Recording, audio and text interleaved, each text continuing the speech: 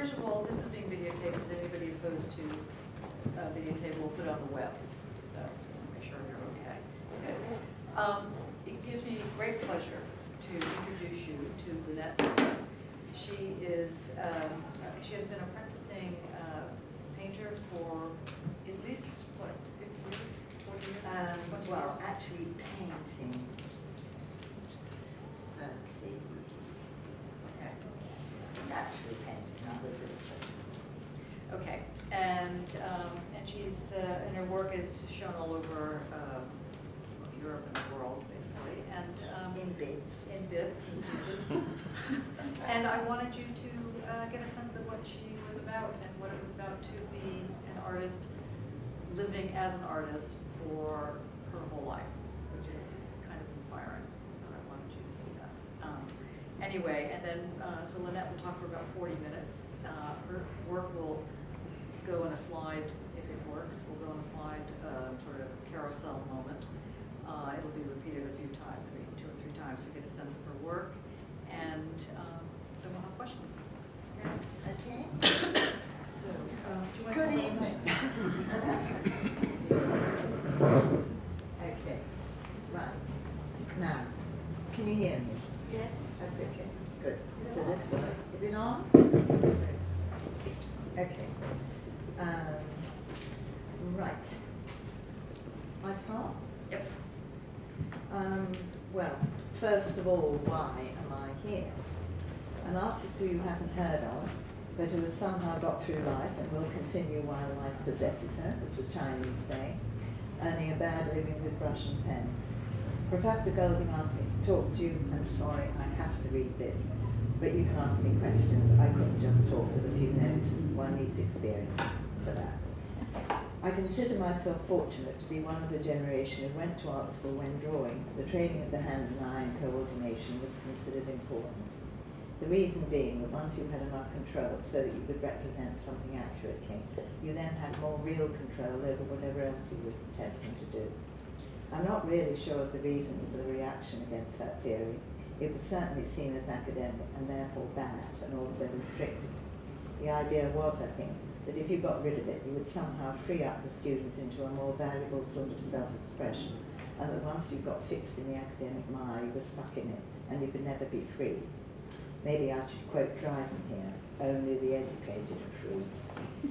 That does not take account of people like me, who find themselves in both senses in the old tradition, and who are deeply unhappy if forced to deny what was and is natural to them.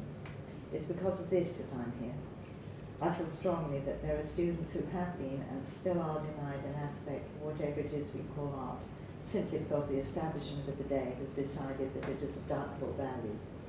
Ordinary people throng to exhibitions where it is obvious that drawing in the traditional eye is the springboard, and yet the power group still has, it seems to me, a real dislike of what is seen as merely historicist, and that we should all want to leave that old world behind, with all its mystery, beauty, and emotion, and become whatever it is that is deemed to be acceptable. At my own art school, now Central St Martin's, I have heard that there is no life drawing class incorporated into the fine art degree. Life drawing is a separate add-on.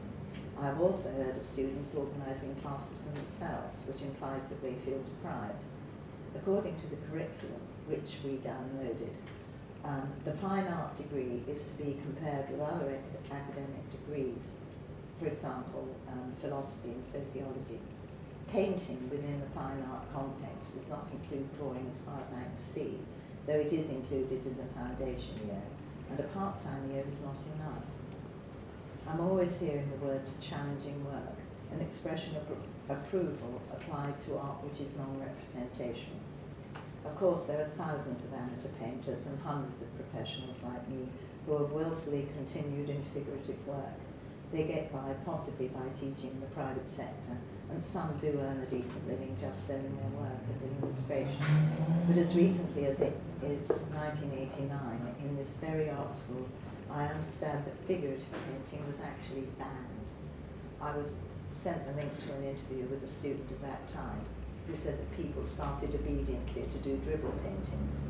I'm glad to say the ban was later lifted, and it's possible to be kind and say that it was born of a romantic dream, to me, it smacks of totalitarianism, communist China, Russia, Hitler's Germany, etc.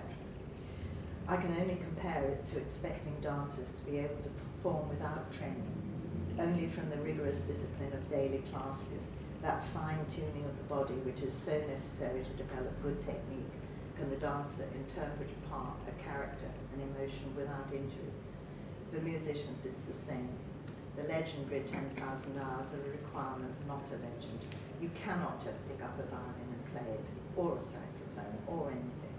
For singers, living with that wild beast which is the voice that has to be protected and cosseted, it's a little different, but an untrained voice can be ruined. Technique has to be learned, and the work done. I think that we in the visual arts are lucky. We can start again, scrape it off, use white paint, knock down the clay, switch off the computer. The live performance artist is always a hostage to fortune on the day when they have to connect with the composer, their own bodies, and the audience. But we too have to connect. There has to be something in what we produce, unless purely conceptual, which is more than what might be called the sum of its parts. All of you, if you're serious, will know that. You feel it. You can't define it, but you recognize it when you have a good day, or when you see a piece of work which imposes itself, leaves a bit of itself on the retina, and you want to go back and look again. It's infinitely subtle, but you can. I have to return now to what made me want to get on a train, and come and talk to you, or read to you. Professor Golding wants me to talk about my work, and I will. But there are questions that I think we all need to consider, arising from the state of the art world today, whatever art is. A teacher friend suggests that I substitute human creativity. I still prefer art, even if ambiguous. I think here I throw in one dictionary de- definition of art, the two-volume Shorter Oxford of around 1960, which is roughly about the beginning of the time of change in art schools that I'm highlighting, gives the following. Skill, the result of knowledge, practice, learning, science, the application of skill to some taste, as poetry, music, etc. An occupation in which skill is used to gratify taste or produce what is beautiful. There's a lot more, but that'll do. Then we go to fine art, the arts which are concerned with the beautiful or which appeal to taste, often restricted to the arts of design, painting, sculpture, architecture. Then, and I like this almost as an afterthought, of poaching and parliamentary obstruction. We could go off on that tack, but not now. So my springboard is the concept of art involving skill, beauty, and emotion. There has been, until relatively recently, in many art schools, the idea of the, that the acquiring of skill, the previously necessary training in hand-eye coordination, could somehow be bypassed, and that by avoiding what many saw as dull and time-consuming, a great leap to a sort of creative nirvana could be accomplished. And this, I have to say, is a crazily deluded and romantic notion. There may be a few students who have such great built-in talent that they can go straight to whatever they want to do, a metaphorical flight over nitty-gritty, the times tables and scales of being an artist in its old sense. Interestingly enough, apart from not wanting to formally teach children to read, other crazy delusions of the time included the feeling that a teaching of anatomy in medical schools was not that important. Medical friend told me about this, which fortunately for all of us did not pass. It was realized that surgeons needed to learn anatomy by dissection, not just by looking at the wonderful drawings in Gray's Anatomy or a TV screen. Demonstrators in anatomy, known as demons, and elderly surgeons were therefore dragged out of retirement just in time uh, you know, we need to think about that. Um, we should not forget that in the past, artists also did dissection. And the pre-Raphaelite Holman Hunt boiled down a horse a bit at a time to get at the skeleton. Apparently the stench was awful and Mrs. Hunt was not pleased. So return to whatever art is, what it has become, how it is perceived, what is it, what's expected of it. Like a lot of people who work alone, I'm not aware enough of what is going on. I don't go to enough exhibitions of modern work. And when I do, I feel that I'm some sort of alien being. That world is nothing to do with me, and the only way to hang on to any sort of self-esteem or sanity is to go back to the studio, and get on with it, and try to remember that some perfectly sensible people have paid hard-earned money for what I do. On a bad day, the old freelance sense wins. I've fooled some of the people up till now, but now I am found out, and no one will ever pay me for anything again. Everything I have done seems somehow silly, and my eye is too developed for my own good. I only see the flaws, and it is hard to find an a state of equilibrium, and I'm not alone in that. And I'm sure lots of you know that feeling. Why should this be? Pendulums swing and fashion is as fickle as always, but it is only in the visual arts that what was once the norm, the basic assumptions which have been part of our culture for hundreds of years, and they've become something to, to suppress. The wish to remain a part of that culture is unacceptable, or in my case, simply being a part of it. I had no choice, it was natural to me. Had I tried to please, I would simply have produced bad pastiche, and what would have been the point of that? The stubborn child won anyway, and I don't think I could even do pastiche. I was a poorly educated young person. I didn't have the verbal tools to defend myself until middle age. The prevailing winds of the art establishment grew stronger as time passed, and certainly not blowing in favour of those like me. I remember a well-meaning friend putting me next to a gallery owner at a supper party. I told him what I did and was told in return, oh, we don't have time for all that these days. Art had moved on, I was a dinosaur. I'd heard all the arguments about what art should be, that there was an ongoing revolution, socio-political needs, and that somehow art should undermine capitalist structures, be shocking, all that. Anything else not being relevant to the needs of our times. I've tried to analyse this, probably too simply, but I think there is a fear of beauty and emotion. Maybe it would be more correct to say that the fear is more of striving after beauty and failing. In music it can show us avoidance of melody and harmony, um, but the serialists went off and made esoteric noises, but there's no sign of anything being banned. Why should this be? If we are mostly dwarfs standing on the shoulders of giants, that's how it's always been. Our own struggles will always be disheartening if we compare ourselves with past genius. When artists of the late 19th into the early 20th century, Picasso, Braque, German Expressionists, Duchamp, Kandinsky, um, the list is endless, chose to avoid comparisons with what had gone before and looked for something new and different. A great many perfectly healthy babies got chucked out with bathwater. But let us not forget those artists that had the benefit of a grounding in drawing and they had brilliant technique.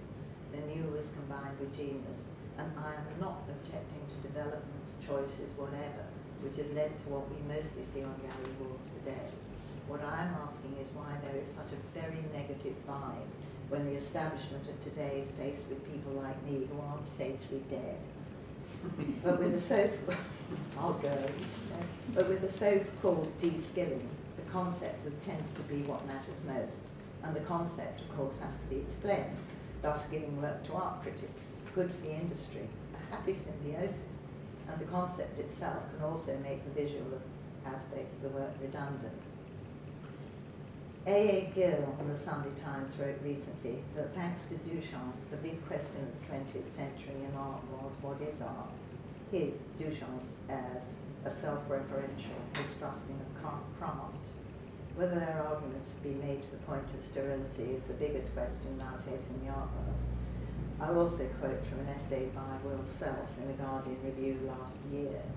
Um, he refers to the conceptualists who, who he liked in the past because by and large they produce artworks which by their very nature demanded no actual aesthetic response, no eye as it's commonly understood, but only an intellectual one, a willingness to get the artwork as if it were a sight gag. I've never seen such a summing up before and I found it interesting and a bit chilling, but I'm glad he refers to his past. And he liked the young British artists because they gave such good parties. Here I have to say again that I have absolutely no wish to ban anything. If a light bulb switched on and off in a small dark space with hanging objects, TV uh, monitor, gobbledygooking over the sound of breaking waves or trains or gunfire, a loop of film, whatever, if it touches you and gives you something, then that means the creator has succeeded with you in that time, in that place. But I'm not remotely a part of that world. I don't respond to it, and I probably have the wrong genes. And I'm not alone. To to search for the beautiful, the harmonious, to find the poetry in the subject and translate it into a two-dimensional piece of board, paper or canvas is not a walk in the park. It's all a bit mad, really. But it shouldn't be the aim of an art educational establishment to try to educate that madness out of any student or substitute it with an academic course. All doors should remain open. If we accept that we aren't going to earn a professional salary, that life will always be uncertain, people will take a bit of part-time teaching or anything else to pay the bills, charity shops and bogots rule. We should at least be able to try to be the best of what we are. It, it comes from within and it's not just an exercise. Perhaps people go to art school now for different reasons. Past is past after all. But I do get the feeling that the system is at the same time more prescriptive and yet less demanding. I haven't said anything yet about the possible influence of photography in the reaction against figurative or realistic work the camera gave ordinary people the ability to pr produce images. Art, although who saw themselves in charge of it, felt the need to go elsewhere. There is talk about the democratization of art. Technology gives the false promise that everyone can be an artist. Elite has become a naughty word. But just as there are elite athletes, athletes, and no one seems to mind that as a concept, so surely there are, and always have been, elite artists, dancers and musicians, people whose talent and capacity to use it is way beyond what most of us can aspire to. Should we not be grateful for the dedication, for the years of drudgery very often? A few months ago, we went, my husband and I, went to the pre-Raphaelite exhibition in London. Waldemar Januszczak damned them, the whole lot. Not worth one Poussin, I think he said. Yet these were a group of serious, talented, possibly slightly bonkers young men whose dedication to their idea of what art should be was quite extreme, working on large canvases out of doors in order to translate nature as closely as possible before bringing them back into the studio to add their human characters.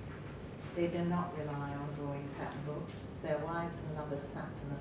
Some made money, some did not. But the commitment shown in the output is extraordinary. It makes the comment of the art world of now, written by people on my side of the fence, ring particularly true, and poverty of aspiration is one of them. I'm pleased to say the exhibition was full, time tickets, the young and the old. And yes, the religiosity is not part of our world. It's hard to identify with the strength of religious feeling. But the storytelling, the passion and belief in what they were doing, and the beauty of some pieces and technical brilliance place them fairly high up in the hierarchy of art in recent centuries. I think casual down-putting, common among critics, testifies to blindness, too much power, and a bad habit of mind. But Mr. Januszczak may be softening. In a recent column, he failed to admire some of fashion's recent darlings, and he loves, he does, Verrocchio, who is a sweet and relatively unknown Italian. All establishments are conservative in the old sense, self-protective and rather rigid, and this one is no different. But in my lifetime, I have seen work which was previously dismissed as chocolate box start to fetch large sums in sale runs. I hear that life drawing is coming back. I'm told there is a school of drawing in Bristol, and here am I talking to you. But we should not overemphasize the importance of life drawing, all drawing, objects in relation to each other carefully observed is also important. Is art in the eye of the beholder? Possibly. And of course the experience and education of the beholder counts for much it can take a very long time for perceptions to change. It is a fact that art, until relatively recently, was dependent on patronage, above all from the church. Then came the rich and the royals who wanted the favour of the church, and God, of course, who would presumably be pleased with the wonderful decorations and paintings in the churches. With the overspill into private houses and palaces, we've been left an incredible heritage. It was Giambattista Tiepolo, when asked about his secrets, presumably meaning technique, paints, etc., who said, above all, you need a good client, and was otherwise very unforthcoming. I have to love Tiepolo. The big client is now the state, and the state, being the main provider of education, controls the art schools, and therefore those who teach in them. We also have the Arts Council. Of the very few practitioners among its army of civil servants, even fewer are likely to be anything other than supporters of the status quo, and this must make it all the harder for the outsider to be considered. There are many who find the de-skilling or dislike of skill in art depressing. They shrug their shoulders, get on with life, buy a few pictures they like, but they know they won't get any kudos for so doing. I had a client who had nine of my paintings, and they were all kept upstairs. When he moved to the country, a few of them came down into more public view. I presumably it was a sort of secret price, safer kept away from the fashion. And before I get on to part two, with Professor Golding wants to say about me, maybe I should apologise for what seems like paranoia. But the truth is that most educated people who reach adulthood in the last 30, 40 years have actually been taught to be very, at best, suspicious of my kind of work, and they're possibly sometimes your tutors. It is easier, if you are insecure and not particularly visually sensitive, to follow fashion, to put a few nice coloured splodges in tasteful frames on the wall. You will not be judged. Before I started writing this, I talked to a lot of people and made a lot of notes. And the question I continue to ask is why an aspect of creativity so normal for hundreds of years should actually be banned or at the least be discouraged in some art schools. This has not happened with literature. The purely experimental seldom works, and anyway, a good novel is still a good novel. I can only say, follow your own, sorry, follow your own feelings and put your own, yourself into what you do, and it will always be better than being art directed. The development of children, the wish to draw, the depiction of the child's world and people in it follows a well-documented sequence. Drawing and painting tend to be encouraged. On what stage adult disapproval of the wrong sort of drawing and painting is expressed, I don't know. A friend of mine was taught to do abstract drawings and fill them in colour. She thinks at about 14. I can't help feeling that so much of what is acceptable invo involves rejection. And I think that we need to build again and without prejudice and stop rejecting the human and the world around us because that is what an, an obsession with abstraction leads to. And we hear much of the need to be inclusive. Learning to do anything well is often seen to be elitist, which is in turn seen as being upper or middle class, which immediately makes it suspect. I remember my first show in London, and a large, hairy, and rather threatening individual came in. I was alone what's all this middle class shit, he says, as he loomed over me. And I was too middle class, in fact, to tell him to F off. And if he didn't, I called the police. I like to think I would have done so, but he, had, he did F off of his own account. But my work, where did class come into it? So now we get to about me. At about seven years old, I wanted to be an artist. Unlikely that I knew what that was, but I drew obsessively. I had a very messed up education with a constant change of schools and countries. At the last school, which was at least respectable, I asked to be moved up a form and crammed in as many O-levels into a year as I could, and I went to an art school, St Martin's in London, at not quite 16. In 1954, it was a four-year course. The first year concentrated on drawing skills. The second was labelled intermediate with an exam at the end, and you had to go absolutely everything sculpture, clay modelling, so-called commercial art. I can't remember what I was supposed to do with that, but I was no good at it. Then years three and four in which you specialised. I could draw fairly well. I needed to earn a living. Thought I'd be no good at teaching, didn't want to. So I started the illustration course, having been advised that I'd be okay. And this I understood was the beginning of artistic ruin. But that first year was a revelation. I had no, had no real tuition in drawing, I just drew. No one had shown me how to measure, above all the spaces in between, nor had I learned anything about the laws of perspective. We drew from plaster casts, bits of Michelangelo's David, Roman goddesses, cheaper obviously than hiring a model every day, but also useful. Objects were piled up, I particularly remember a cartwheel, so much more complicated than I had thought, and very odd perspective, which inspired real respect for the wheelwright. We were also taken out in groups to draw the world around us, in our case London, townscape, the river, everything.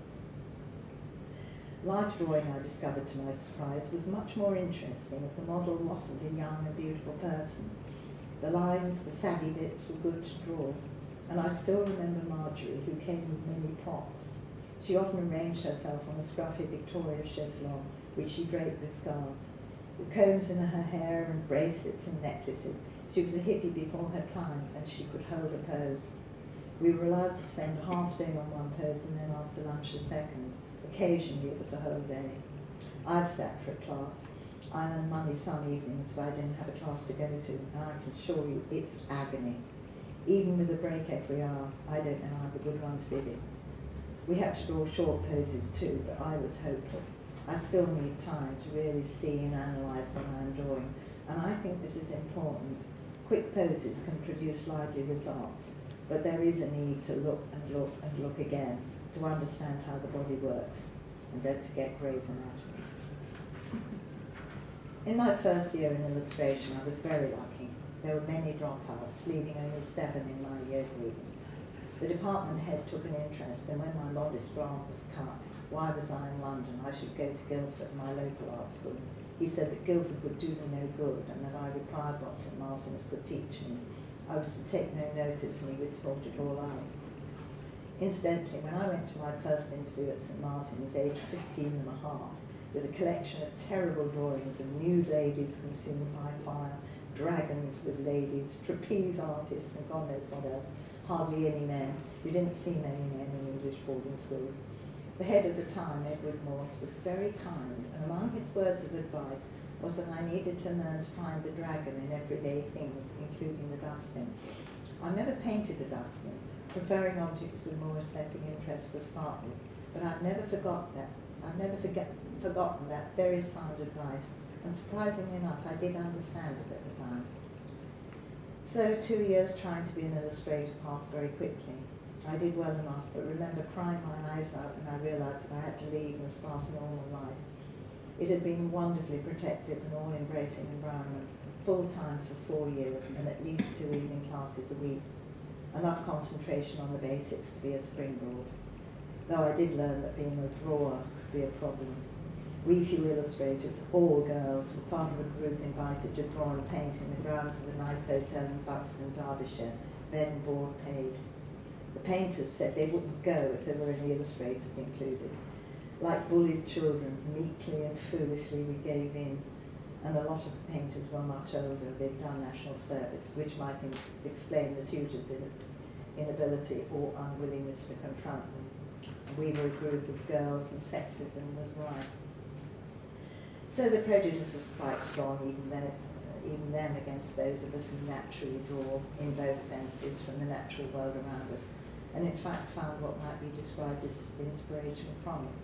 But there was a problem, which was that of size and scale. To be an illustrator, you were limited to small-scale works. Being an actual fiddler, I didn't think too much about that then. And in spite of financial crises and ups and downs, some stuff I can look back on as okay. A lot makes me cringe. I wasn't very good, but there were people worse than me, so I got by. I did all kinds of things to push up my income. I did some very well paid cooking, which I fell into by accident. Basically, the proper cook was drunk, and some desperate person thought I could do it, and I was sent to a city bank to feed directors. They liked what I did, and I got asked back occasionally. I got expensive leftovers, which fed us for a couple of days, and these I'd share with the butler of the day. In one place, there were two dining rooms, managers and directors, four butlers and a kitchen maid. I honestly don't know how I did it. But they sent up the cook's gin ration, and at the end of the week I had a whole bottle. And I also sold stuff at exhibitions, double shifts when I was allowed. And at one I built mini battleships from bits of plastic. I did office cleaning, but I was bad at it and wasn't asked bad. A year after leaving St Martin's, having improved my portfolio, I got taken on by decent agents and started my apprenticeship in illustration.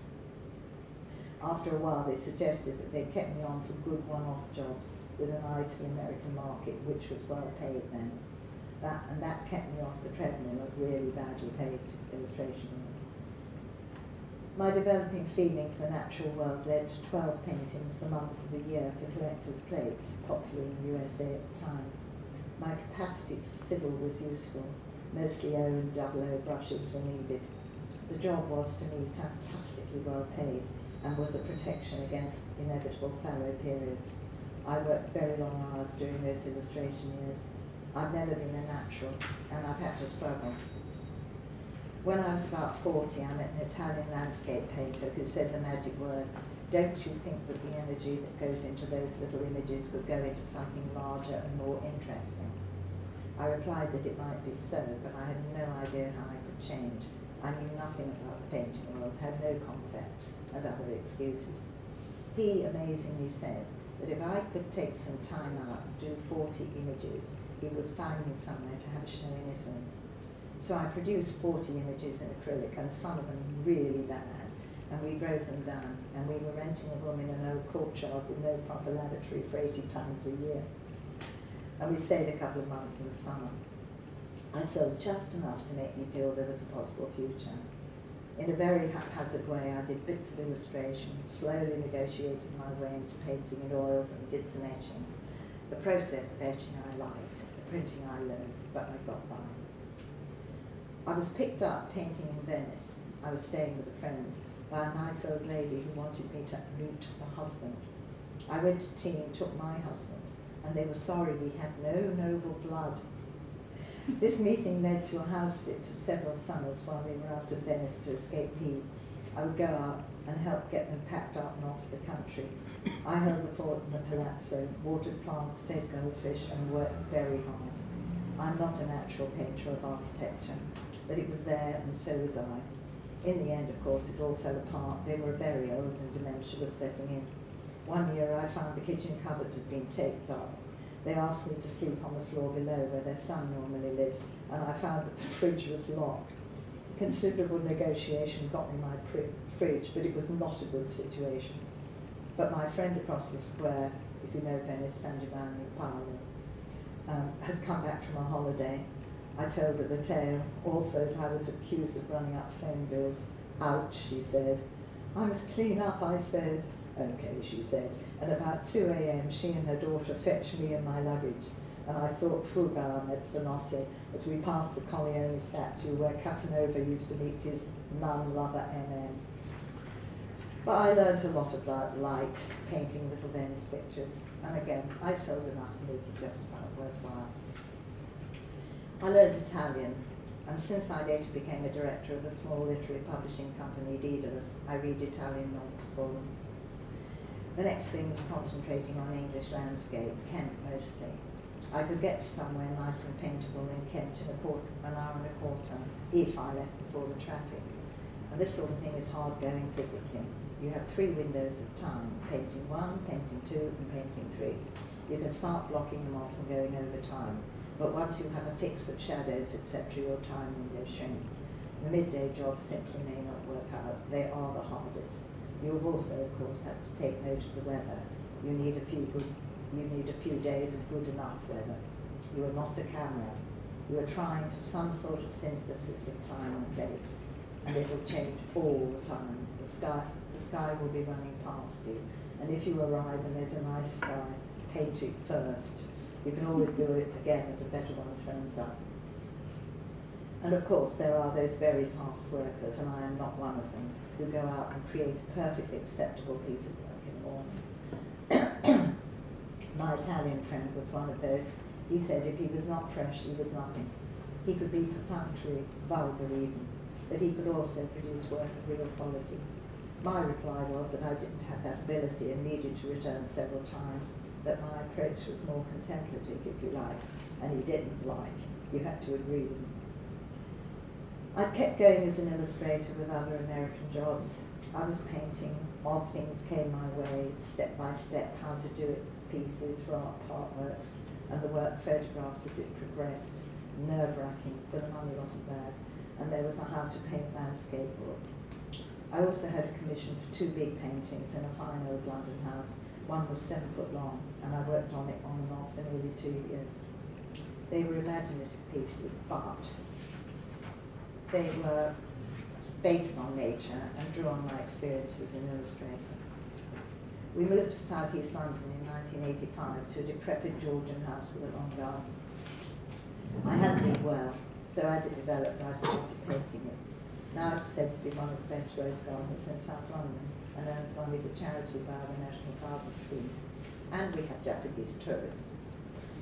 Um, painting a garden is very difficult. It's much more difficult than landscape. It took me a long time to get the hang of it, but I had a nice gallery at the time and a few sold, enough to be encouraging. I also painted still life, very tricky, and the many who sneer at flower painting simply do not know anything about it. The wretched things never stop moving. And you do have to remember, and I'll quote my old Italian friend Bruno again, you have to be a little in love with your subject, or how can you hope to inspire the wish to possess it in its translated and paint form? So this is what I do. I try to translate what I see into that synthesis, which is a painting, which resembles, but is in no way a totally realistic version of what I see. I wish I could offer more practical, helpful hints for anyone interested. I can only say do all you can to develop your eye. There are lots of books on colour and art magazines. I'm not sure how good the internet is on this, but there are books um, and the art magazine is surprisingly good, which will also include paint and mixing. I'm not good at all that technical stuff. My eyes tell me what I need. I mix the paint on the palette and it seems to work. There is a sort of oil painting rule which is fat over lean and that works for me. I mostly work on hardboard rather than canvas, which I prime with commercial acrylic primer. The reason for choosing board is that it's firm, doesn't flap about in the wind, and more importantly, if you've made a mistake in how you place the subject, you can cut and you can trim to size for a frame. However, over a certain size it gets too heavy. I used to use Liquin as a dryer and it is good, but I've sort of weaned myself off it and I mostly just use turps. There are lots of how-to books describing all kinds of techniques and methods, but your own instinct should tell you what's right for you. I do lots of things that are wrong, and with the next piece of work, I'll try and discipline myself. I might be surprised. so thank you very much. Right, if you want to ask me anything, I will do my best to answer it.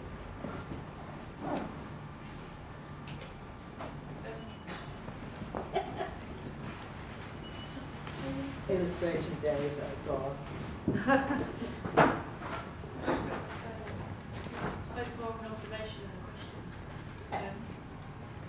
talking about the um, sort of writing, comparing writing and making making like visual art, for example. Yeah. And the thing that struck me was that the um, technology that write that what that is required for writing hasn't advanced as much as the technology available for visual making. No. So maybe that's why that sort of stood still. And then the other point was about you know, learning a skill. Yeah. Um, sort of contemporary ways of making that require the same amount of labour and time to learn how to use them as well. So may or may not. My point about the um, the hand-eye skills is that they then give you the you can then do anything you want to do. I mean, I'm you could say I'm stuck in where I am because I actually like it but the business of, um, uh, you, you, know, sort of saying, oh, well, it's sort of technology led in a way, is what you're saying, I think. Uh, not, not so much more about the, because I totally agree, I think it's important to have a basis of Well, it, it, it's to do with being able to do what you want. Um, technology is, um, back to writing I mean, yes, there are lots of people, you know, who do do things, you know, set up um, different endings and all the rest of it to do with, you know, um, relating to the reader and all that sort of thing. But in the end, um, unless you really, really want to involve yourself in that, a good novel brings itself to you as a thing, a completed thing. there's no reason why, if you want to, you can't say, but I prefer another ending, or I'd like to take her out of this and shove her somewhere else, or whatever, which is, which is different, but a good novel is still good. Um, and I don't think any kind, I don't think the um, technology, there is enough technology for it to have had a very big influence if it was required. I think you'll find that most people who are writing are writing because they wish to get something out of their system, it's a part of their life, or they've had this idea for years, or whatever it is. Um, and it doesn't need um, the, the, except for, you know, the extremely useful um, ability to uh, do it, do it on the screen and correct as you go and all the rest of it, and print it out, look at it, and so on. Um, I think it is different. Um, as for uh, technology and art, well, it's you, you know it's another aspect, isn't it? I mean, you can use the technology, and it's um, it's there for you.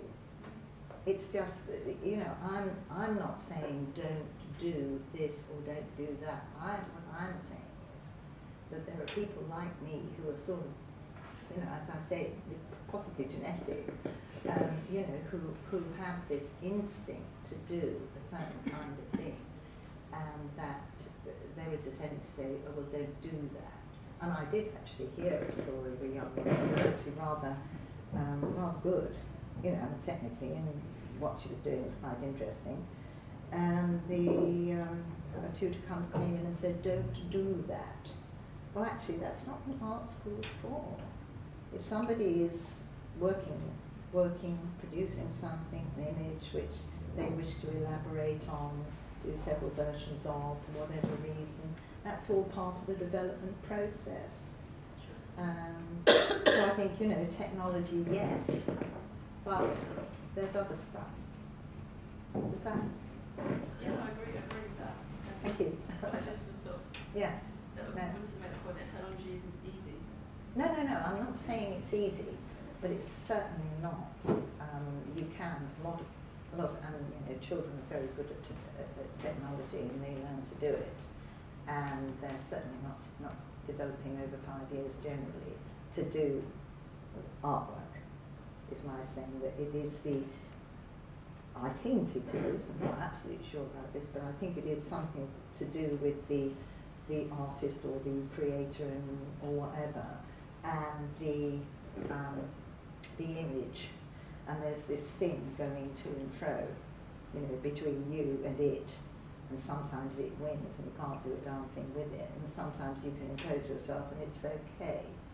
Um, and I, there doesn't seem to be any, um, there doesn't seem to be any reason why some things work and some things don't. You know, it's just like that. Um, does anybody have a question? Did you? I have a quick question. Yeah. Um, you mentioned the dragon. Oh, yes. I like dragons. Yeah, Um, yeah, yeah. And, I thought it was a very good thing to say to me yes, at 15 and a half. I think it's a good thing to say even now. Yes. At the age of whatever, twenty-seven. Whatever. Something. Bless you. But, um, so I'm wondering, when you choose your subjects to paint, yeah. is it because you find the dragon? Like, how do you know when you're looking at something that, no, I'm not gonna paint that, you, you know, Mm. yeah, yeah, I'm gonna do that. Oh, well, I'll tell you, I mean, you know, landscape particularly. Um, you know, in what used to be a sort of rather terrible old car, I would drive round the countryside, whimpering slightly to myself, looking at things, trying to see something which sparked me off. And I do remember one particular um, place where I could see it, I knew it, but could I find it? No, I couldn't. I parked the car, I walked up and down and around, then I went into the ditch, and that was it. You know, the dragon was there, and there is, it is that sparking off thing. Um, I think that's why often um, commission pieces are so difficult because you've got, you really do have to find the dragon. I, um, sometimes people want you to paint their house in a land, in a landscape kind of thing, and that can be really, really bad, and it's better not to do it really, unless you can walk round and round and round and round, and suddenly you think, yeah, the light's right, this is right, this would actually work. And I've done a couple of those. But um, it is, there has to be some sort of spark. As old Bruno said, you know, you've got to be a little bit in love with your subject. There's got to be something there. The other question I had um, was that really there were, I saw four sort of different, let's say, styles in a certain sense, or four different ways of catching the dragon, as it were. And, and, as- and with illustration, you don't necessarily catch it anywhere. And you're trying, you're doing a job, you hope, you know, you, you know, There's a certain kind of, let me put like this, there was a certain kind of muscularity or a certain kind of, I don't know, passion, energy that I saw in some of the drawings, in most of the drawings, in fact, I would say the drawings. Um, But I thought there was a very real difference between the paintings that you did of, let's say, Venice Mhm. and the paintings of the garden. Do you consider those at all similar or, or exactly the same? They struck me as very different types of work. Well, they are. Yes, and I mean, can you elaborate on why they are different? Well, um, I mean, I know that some of them weren't finished or. Yeah, well, I think the whole thing about Venice is that it's, I mean, many, many people have done it and they've done it very, very, very well. And I was, you know, um, not experienced. Uh, you know, you sort of wandered around looking, looking, looking for a place where you could actually, that you could work from as well, physically. Um, and so, well, I, I think it was, a, I, I say, I think in this, that it was there and so was I, and I Mhm. think it was, I felt it was a good thing to do. Well, I mean, let me put it like this, in the garden, in many of the garden images, or images in the sense of image, uh, paintings, um, the use of white Mm-hmm. is, is really bold. Mm-hmm.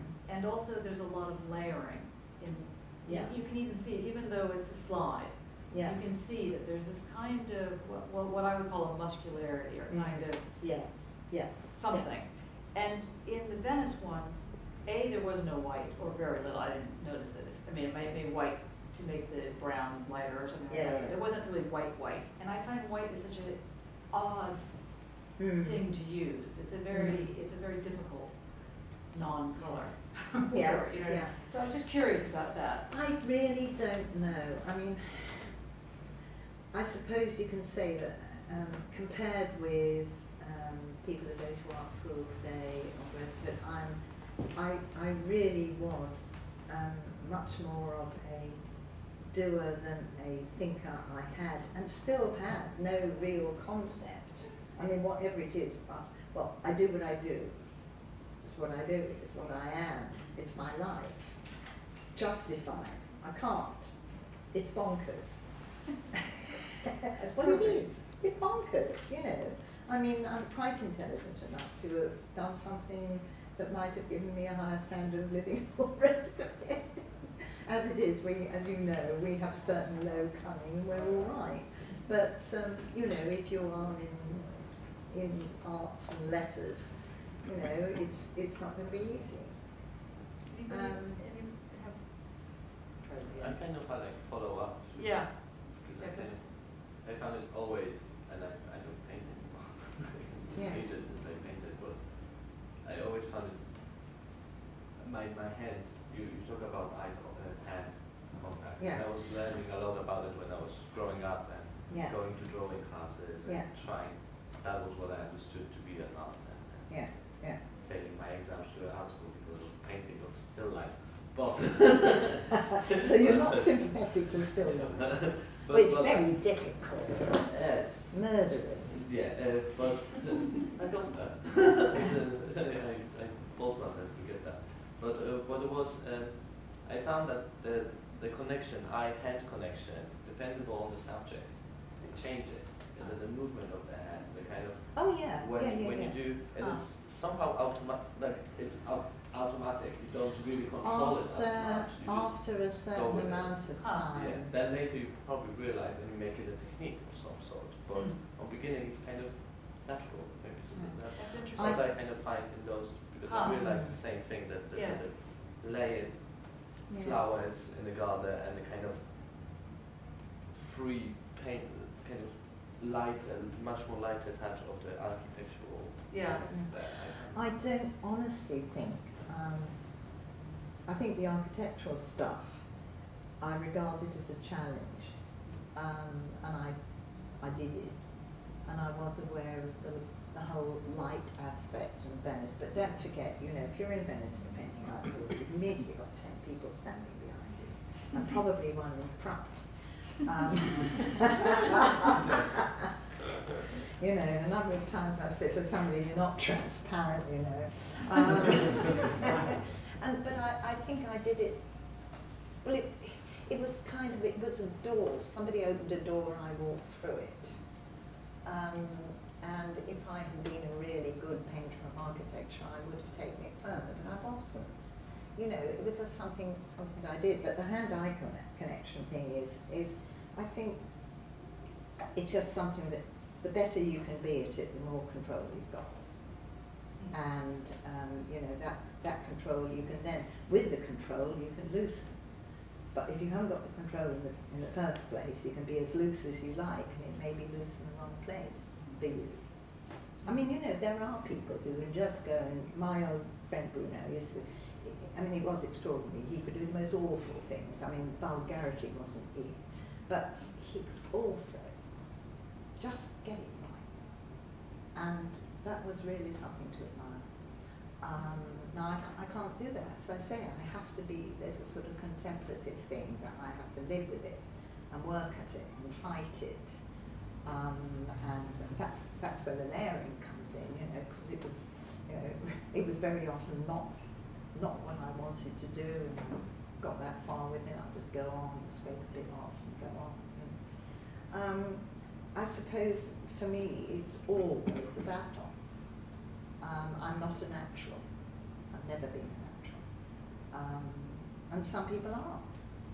You know, and sometimes that can be wonderful, and sometimes being a natural can actually almost be against you because you are so fluid, so so slick. I have to work really, really hard on making it not look um, sort of overworked, you know, trying to get a sort of, I can work quite hard on trying to look easy. and it never is, ever. Um, I mean, I can't justify what I do. Oh, Can you say just? Oh, sorry, sorry. Simon. I was just going to ask about the size of the pictures because it wasn't obvious. obviously All right, they there. vary. And just what, what, what range of sizes of The gardens tend to be about like that because you've got a, um, basically you're either standing or sitting and you've got to get around it, you've got to Mm. see. And um, if you have a really big painting, and sometimes I do that when you're looking over the top, you're looking around the side, you're going, you know, and you're working on this bit and moving the thing and then the light's gone, you know, and, and it's, it, it, it's, uh, that there is sort of a limit, and that's why I was always so impressed by the pre-Raphaelites dragging those enormous ray canvases outside, you know, and fiddling around with dandelions and knows what else, you know, um, and getting that right, and then coming in and, you know, poor Elizabeth Siddal in the bathtub, and I mean, no wonder she expired from consumption. you know, I, I mean, they were uh, pretty amazing, really, whether you like them or not. Um, But they appeared as much bigger paintings. Because I, I, I Mine? yes, the sorry, Um, the uh, garden paintings. Well, some of them, you know, maybe- I mean, I'd They're a say bit bigger than. like, like that, like that. I seldom go more than in width,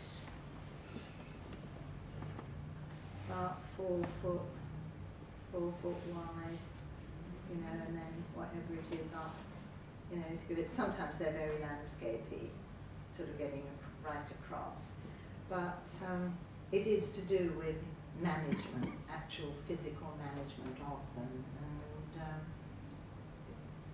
I'm sort of trying to think.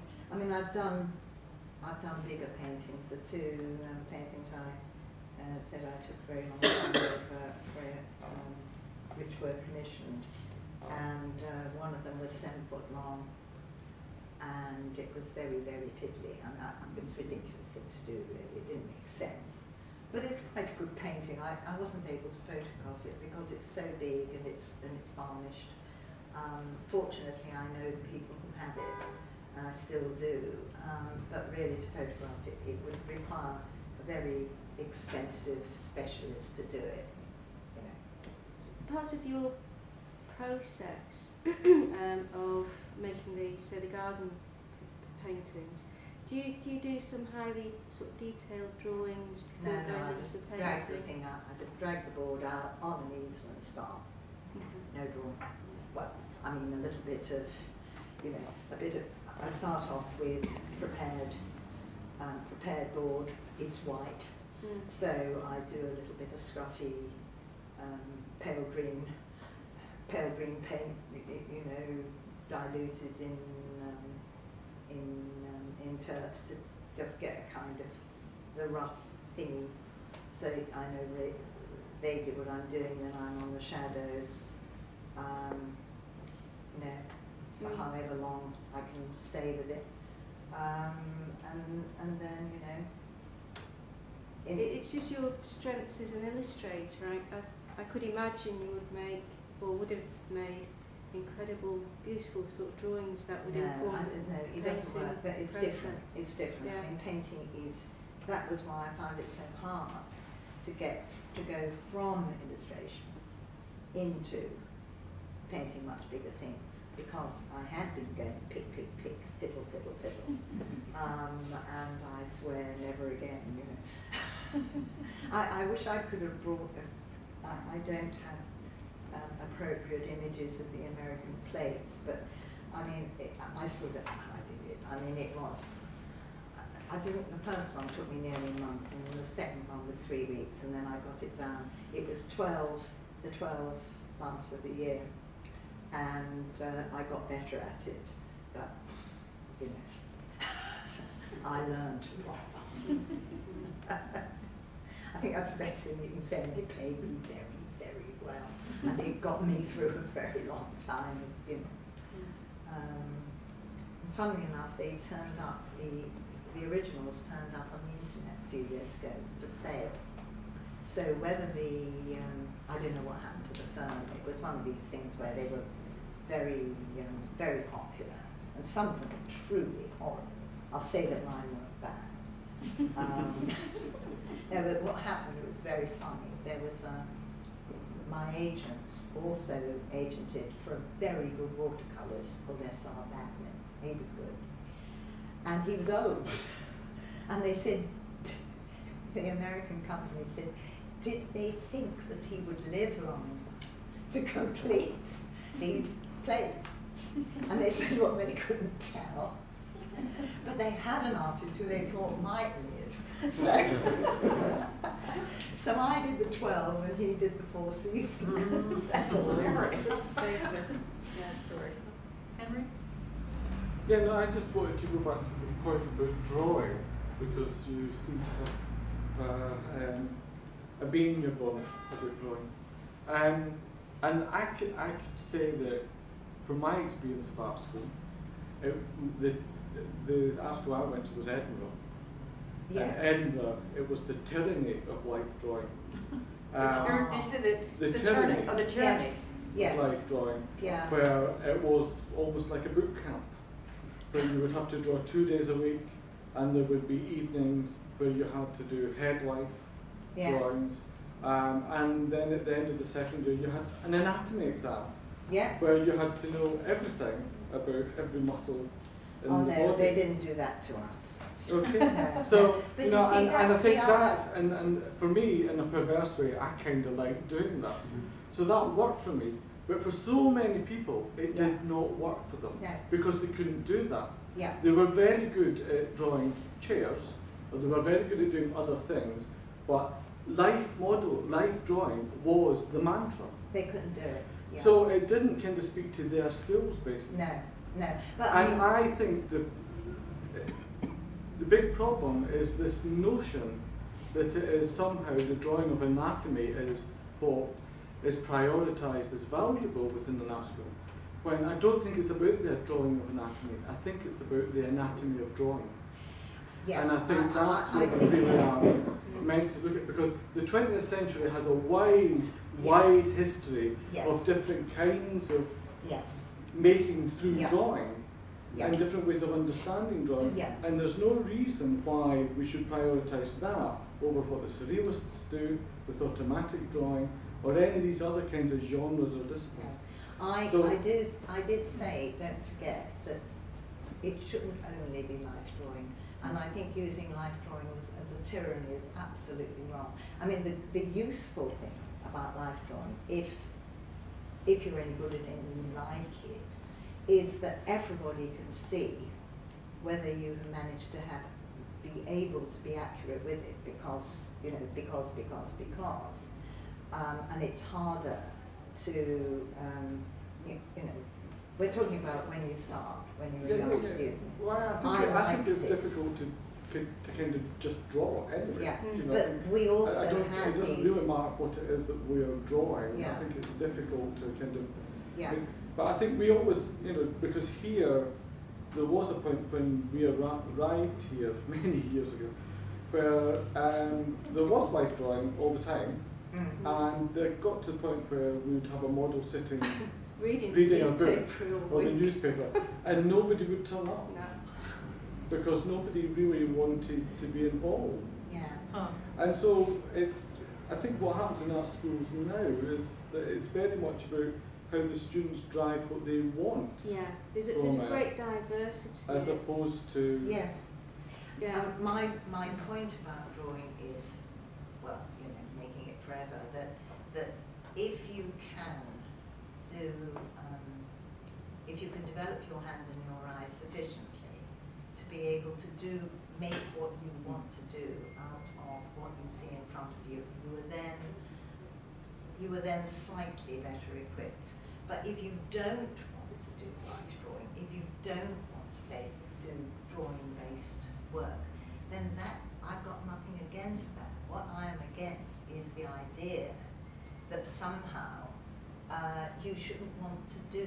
You know, you know, basically, it's that you shouldn't want to be me. I mean, you know, No, no, no, there should be, a, stupid. there should be a place for everyone. There, there There needs to absolutely be. should be a place for them. Yeah. And I draw, I love drawing, I make Mhm. lots of drawing. Yeah. Um, but I don't, I, I kind of, I think you, one must always play to people's strengths. yes. And, and that's the important thing, that some people are, like you, I have friends who, um, one very good friend who, um, when we were at art school, could make a life painting in 20 minutes and everybody would be struggling like Yes, mad and yes, going, how did you do this? yes. And you know, he kind of taught himself yes. The Yes. Rachmaninoff piano concerto in D minor. and. Yes. Yes. So he's this kind of natural genius. Yes. But the thing that he couldn't do was conceptualise. yes. Mm. Well, the thing is, did in he different want ways. to? He could draw from life and that and point of reference, and that was fine. But to make that into something else that was more meaningful in terms of what the practice was about, he could not do that. Yes, but he didn't. My point is that you shouldn't be forced. I have no concept at all beyond the fact that I am a sort of physical being that for some reason or other, as a very small child, started doing what I do already, that I do, do now, and I do it better now than I did then. But that was what I wanted to do. The, the concept as such never occurred to me. Um, I simply was instinctive in what I did. Now, you can say that's bad, you can say that's good, but I don't see why the conceptual should be forced if it isn't there, any more than life drawing should be forced if it isn't there. My point is that you should not exclude, you should not educate a child or a young person out of what they are best at doing. I mean, what I hear you saying, apart from just what you just said, uh, was that there is a skill in being an artist. There's actually a skill. Well, there may or may, it, it No, no, depends but if in the you're a sense that- conceptualist, then, you know. But there's a skill in being a conceptualist too. Yes, I mean, there's always yes, skill. you know, there's a regardless skill, what and the that, form and that, as a result, there's a way in which one can say, not so much, this is, uh, this is bad art because I personally don't like it, but Yeah. because it doesn't work. You know, it's like, you know, in other words, um, it's not just, you know, whoever is in the boardroom or whoever you've slept with or whoever, you know, can put your paintings up somewhere is how you get into a gallery, although that is part of the art world game. But it's also, sometimes work is just terrible. And you need to, and there's a skill involved in it, whatever this is, you know, Yeah, whatever the, yeah. and what I appreciated about what you were talking about was that you were demanding that that skill be recognized. Um, I'm not demanding, I am saying that the business of an art school should not be to educate whatever it is, the, ins- that instinctive wish, like the, Henry. the painter Henry um, referred to, to educate that out of him in order to turn the student, her or him, I don't know, I think it was him, to educate that ability, that feeling, the response. And again, I think I say something about the response, you know, that we, we, and the connection, it's connection. But to me, if someone is, you know, beating, like I, I started out as a lefty and then I am now writing with my right hand because I, when I went to school, you weren't allowed to write with your left hand. You know, a, Yeah, you had to yeah, like, you know, learn how to write with your right hand. But, um, what, what I'm saying is, is that, uh, that to me, I wasn't educated to work with my right hand. I was, Forced. I was forced, I was traumatized, you know, I had to write. yes. And to me, I wouldn't use that term, educate someone in a different direction. I think that, you know, there are skills that people learn, just like you're saying, you know, Yeah. if you're gonna be a dancer, then, Yeah. You know, you gotta learn how to do it. You just can't just jump on the stage and become, Yeah. you know, the ballerina or whatever the thing is. Or pick up um, Yeah, and the violin and all the rest, that, that there's an actual skill. Yeah. And these skills, that's what the education is. It's, the education isn't about like, you know, chopping off the, the hand so that you can all be right-handed. It's rather, than- and, and for those kind of environments, I think that that's what one does either with conceptual or with life drawing, whatever. That to me is a problem. You know, and in fact, I mean, I say this as a philosopher, there's so many philosophers uh, and theorists in the world who actually think that you have a model of how to think, and then you apply that model to something. And that is so far away from philosophy, from thinking, from anything. It has nothing to do with it. It's just bad philosophy, or it's bad theory, or it's bad concept, something like that. It's just like, you know, I, th- I think, you know, you sort of come back to the fact that you're a human being. You are not, you're, you, you, you're, you're not a sort of, you're not a construct. You're a human being and you develop the way a human being does for whatever reasons, upbringing, you know, all the rest of it, you know, and, and it just seems to me that at the moment, well, ad infinitum will say it, you know, that, that the, um, the edu- the art educational establishment is still very wary and essentially dismissive of people who want to do what I do. And what I'm saying is that there are an awful lot of people like me who've managed somehow to stick to their guns. Um, and it shouldn't be, it shouldn't really be such a sweat. You shouldn't have to fight as hard. But I don't think, I mean, I think that Central St. Martin's or the, the, the course outline that you downloaded or whatever that you saw, you referred to, I, I think that that, I, I would be careful to, to look at that and then say that's what's happening in the art establishment. Because in schools like this, for example, that's not happening. No. You know, and it's not happening, I mean, it might be happening in places like uh, Slade, for example, um, or even in the Royal, uh, Royal College of Arts sometimes. You know, there are places that, you know, have reputations, I don't know why they have them. Mm. Yeah, yeah, right. I'd just like to second that because one of the reasons I wanted to come is, you know, Henry at my interview said that as long as people have a practice, we're here to accommodate whatever, Yeah. you know, and, it, and Yeah. it's been true, it's true the, the work that we've seen in Yeah. group tutorial after group Yeah. tutorial, you know, it's been Yeah. so diverse and so Yeah, yeah. Uh, welcome and, and, Yeah. and everybody's been so supportive, and students and tutors alike at times. It, and it is terrific. I mean, I was, I think I was very lucky because, first of all, um, when I went to art school, I was the right student for that place, however young I was. But they were also, you know, there was a certain amount of hand wringing you did, you don't have sense of design, do you? No. Um, I think, I think if you started this MA, in, you know, in September, you'd, you'd be, you'd be accommodated and, and loved to, to honestly, and, and, and So you didn't know that you were going to start an MA here, did you? I don't want to go No, no, I know you- I know I don't don't. want to go back. I know you know, but you get my point. that Yes, I do, I do, It's, it's, I it's would quite unusual, I guess, Yeah. I mean, Yes. Sarah, what were you going to say?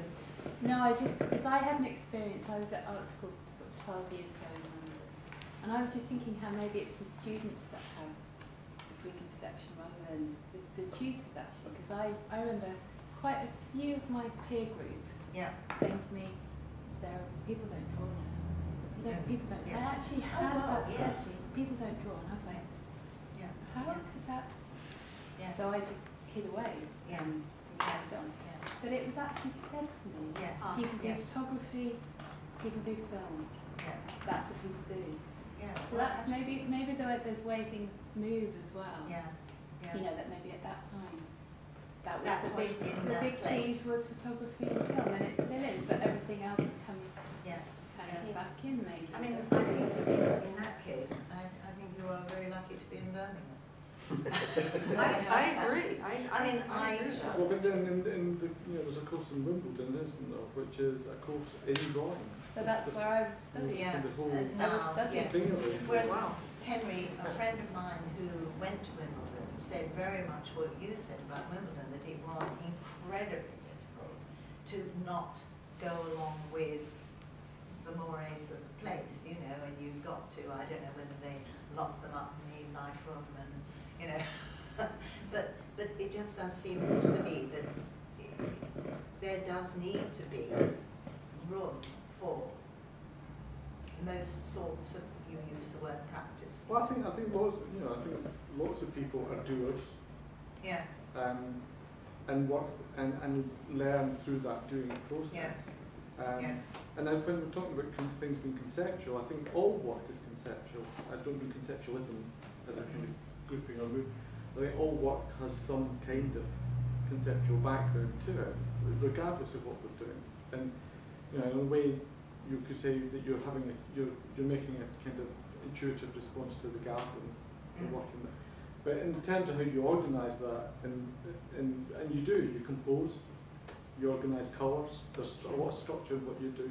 You're kind of, it's, it's conceptual. You know, it's conceptually defined in, in terms of how you it, it operates. um, no, no, I don't think it's after. I think it's through the process that it emerges, and we could say that's that's maybe in one sense uh, there's a gut response to certain things and it's intuitive, but, but that's based on all your experience.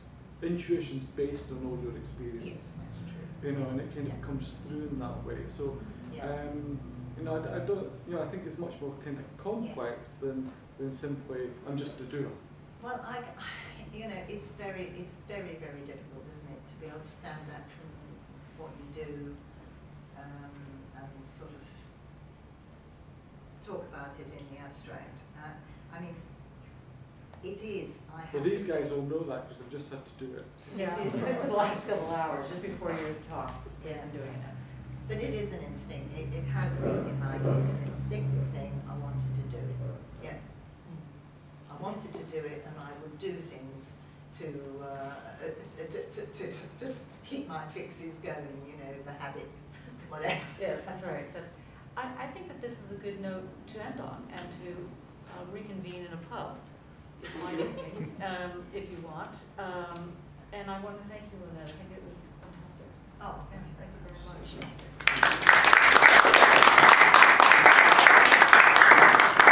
And nobody's thrown an egg Thank you very much.